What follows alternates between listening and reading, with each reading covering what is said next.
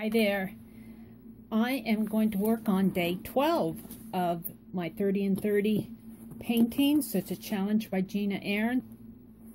There's a link in the description box below. I have all the same brushes that I've been using. I've been going through these every time.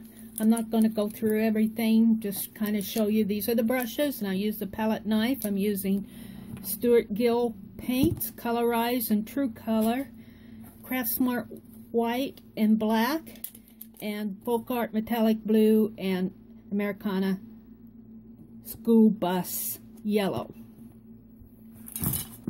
I also may use some of this silver speedball screen printing ink. This is for fabric, but it looks really nice on paper. Has a really nice sheen to it. I am going to do this little turtle pen. Isn't he cute? Now, I've sketched him several times before, but I have not painted him yet. So that's what I'm going to do next. And you can watch.